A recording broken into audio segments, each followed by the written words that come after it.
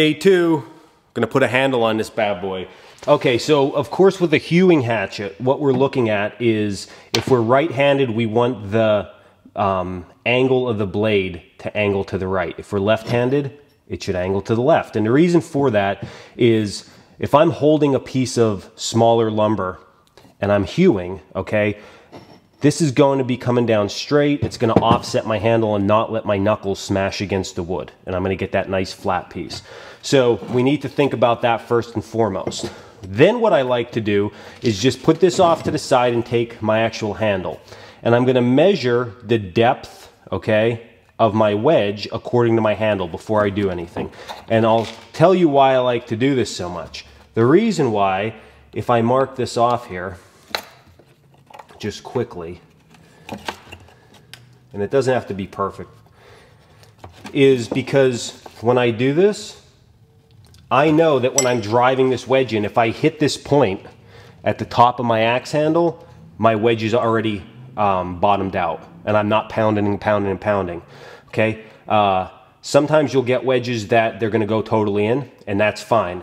Sometimes you're going to get wedges that stick out this far. What happens is people just keep smashing this down. You're not getting anywhere. That's as far as the wedge is going to go. So I like to know that reference point.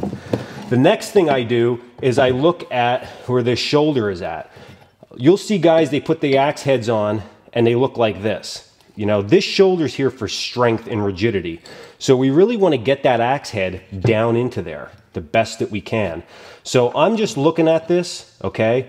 And I'm thinking, okay, that's about a good spot. Try to do this so that you can see. That's about a good spot. So what I'm gonna do is just take a pencil again and just draw, whoops, a rough line across there. So I know how far I'm gonna set that in. If I set that incorrectly, all right, the next thing I need to look at is where I'm at, is that coming out of the top of the axe and it's not. Okay, so I need to rethink that. So I'm gonna have to drive that down about that much. So that is just going to require me to do a little bit more shaping, which isn't going to be that much of a problem. I'll get my rasp out and shape it. But if I drive it down there, I have about an eighth of an inch out the very, very top, a little bit more out the sides. And of course, I can always go a little bit beyond that. So my plan here is to reach the second mark when we're fitting this and go a little bit beyond.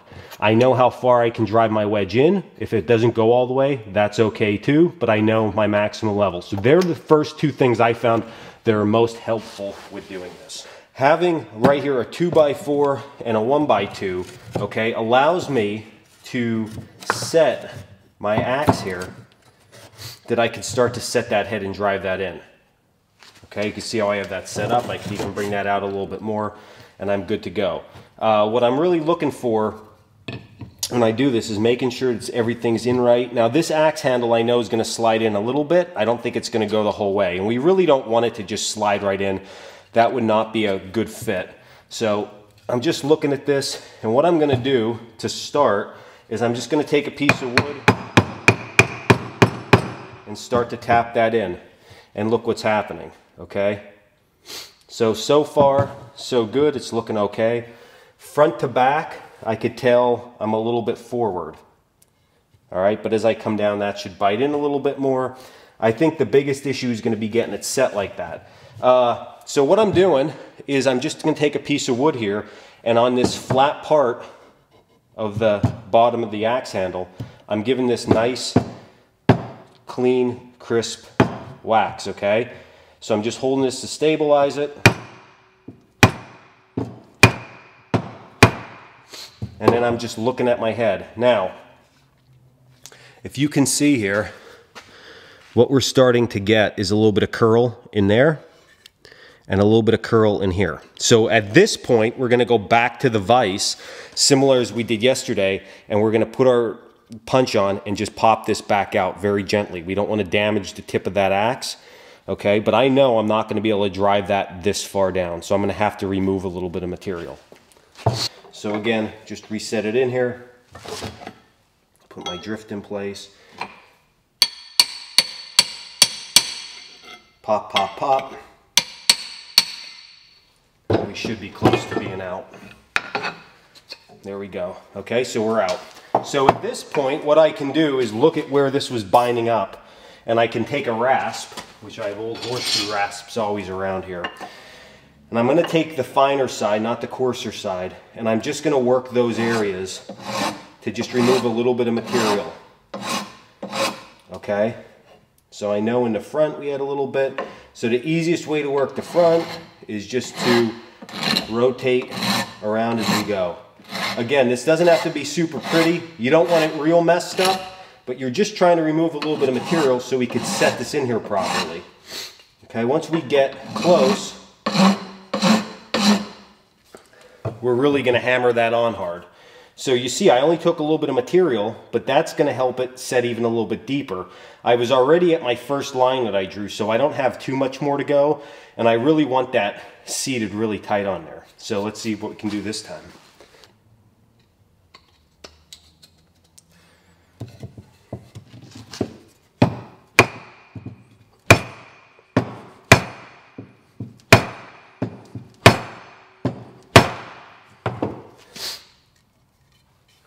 Okay, so we're starting to get closer.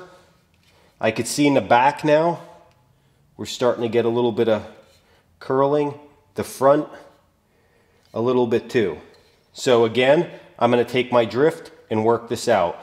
File, and I'm gonna repeat this process as many times as I need until I get within about a half an inch of here. So when I set this and this starts happening about a half to a quarter of an inch away, I'm gonna say more like a quarter, inch away from my final line, that's it. Then what we're gonna do is transfer this to the floor where I could get more leverage, take a little bit heavier piece of wood, and really just drive that in the rest of the way. So you can see right here, that's where we're starting to really bite in the wood. And uh, we need to get it, so this side is the back side where I don't have a line drawn. Look at the front side, we need to get down to here. So we're getting close. We're in about a half inch territory, so I need to get this cleared out about a quarter more inch. I'm gonna say it's probably gonna bind up. I could feel a high spot in here, high spot in there, so we're gonna just use the rasp, clean that out.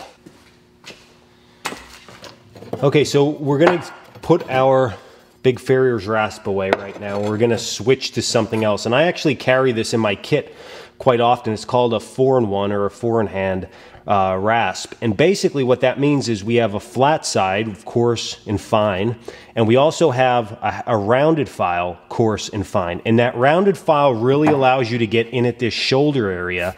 If you just put a straight rasp on here, you could see we're not gonna get in there. There's no way to actually get that and you're changing the shape. But the round, the round file can actually get in there and meet that curvature that we're looking for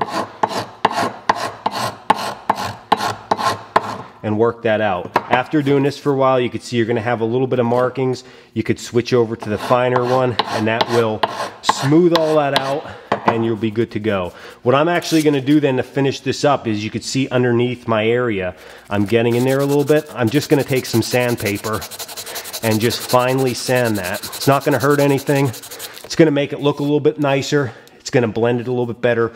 I'm actually gonna put some oil on this when it's all done, so it's gonna really blend this in really, really well. So for now, take my rasp, use the coarse side, and just start to work this just to get this trimmed down. Okay, so I think we're just about on the home stretch here, guys, to uh, get this set appropriately. So couple things I'm looking for. When I put this on the back of the board here, I want to make sure that I'm not binding my handle up.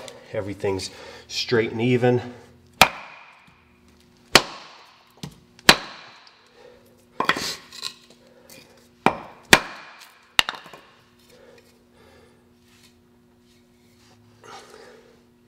So we're looking pretty good. Just got to keep after it.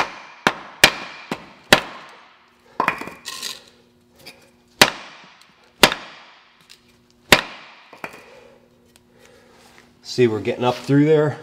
It's looking good. We're biting in really good. And I think we're gonna keep it right about there. We're starting to really get down on that shoulder pretty well. I could see this is seated real good. We have some extra gaps up in this top, but the wedge should hopefully take care of that.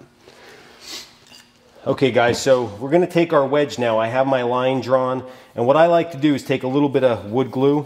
It just seems to bite a little bit better into there. I'll put a little bit of wood glue, not much, just a little bit that if I ever have to get this out, I could still uh, possibly pop this out. I'll stand this up. and make sure I got this in frame for you guys.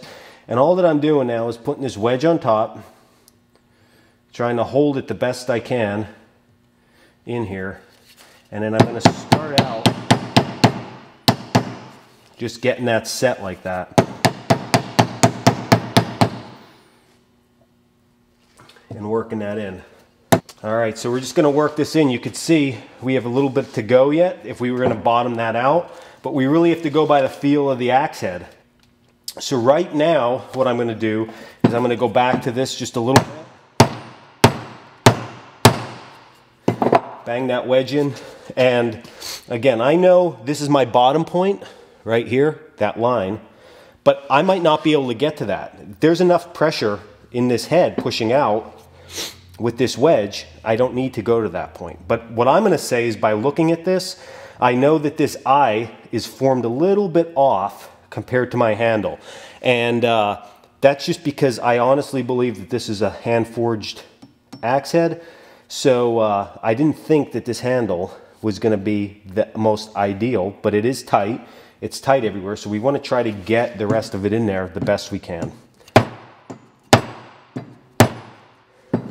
What I'm gonna do now is just give this some time to set and then we'll come back to it. Okay, so we allowed this some time to set. I'm just gonna take a razor knife now and uh, just trim this wedge. Gonna take a little bit of this old utility knife I have here. Back to this side.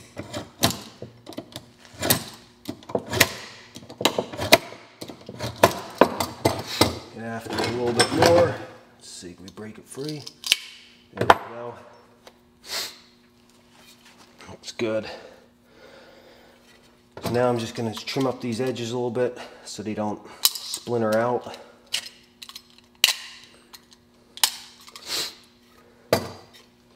And we're pretty good. So I'm going to let this wood, wooden wedge set now because remember we put glue on this.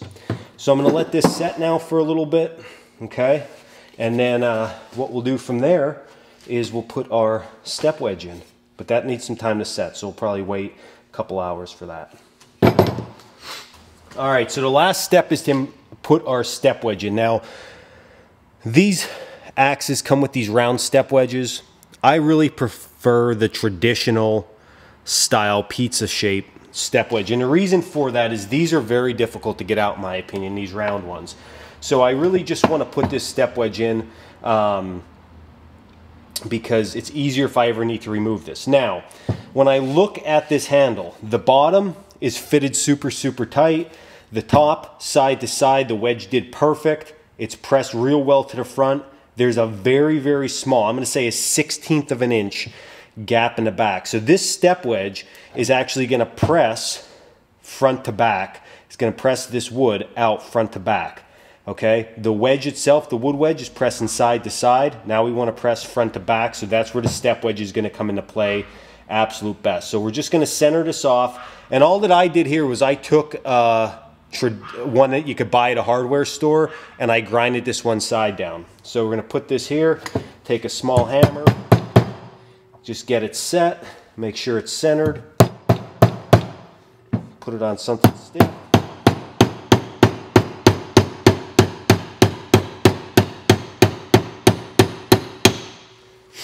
Start to hammer that in. Now what I like to do when that's all done, it's in there really good now.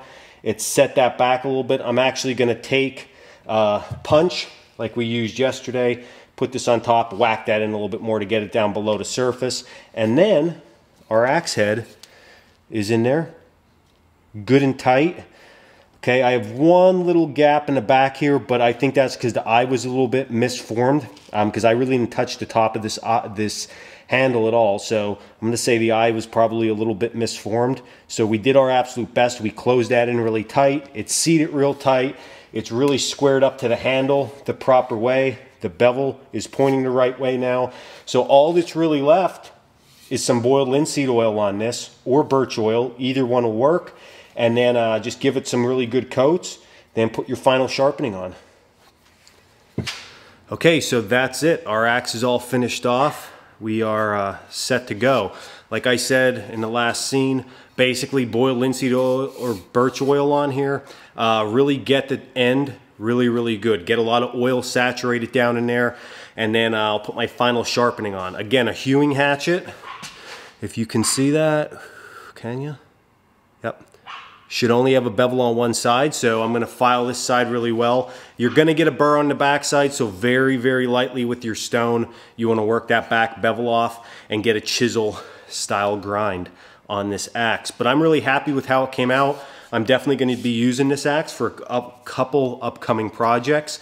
I hope you learned something from this. Um, people make this so technical, uh, it doesn't need to be. You know, it's just some basic concepts, and that's what I wanted to really show you. I got this project done. It took me two days because I did my axe head one day, handle the second day, but I'm gonna say overall, I have less than an hour and a half into this. Actually, the longest it took me was doing the um, getting the old handle out. So it came out pretty well. I'm gonna put the link if you haven't seen the first one down below in the info. And uh, again, hope you enjoyed this project. I know I like doing this and having myself a brand new axe on the cheap. So if you haven't already, check us out at coalcrackerbushcraft.com for our classes and all our merchandise online. And until the next video, stay in the woods, or like we said last video, stay in your shop.